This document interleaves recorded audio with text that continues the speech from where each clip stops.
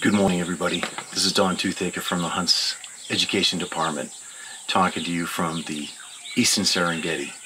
It is just about daylight here uh, in this amazing ecosystem. All around me, you can hear the sounds of um, wildlife uh, stirring and coming to life with birds and wildebeest and zebras. The most exciting thing I want to tell you about is about 3.30 this morning, uh, there was quite a commotion right outside of my tent here and uh, just off to my right.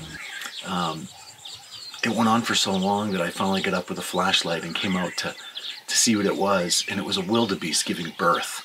And uh, right here to my right, maybe 25 feet away from my tent, um, you know, this mother wildebeest, you know, gave birth. I didn't actually get to see the birth, but I saw the baby on the ground, uh, the placenta, and the baby was soaking wet, and the mother then immediately um, turned and was licking it clean and prodding it with her head for it to stand and get on its feet.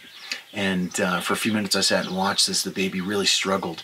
Uh, it's an amazing thing uh, that these these animals, within minutes, seconds of being born, they can stand. It's part of the survival and the survival instinct. Uh, but then the drama kept going because um, the mother, you know, was very uh, aggressively and impatiently um, coaxing uh, the baby to walk and to move.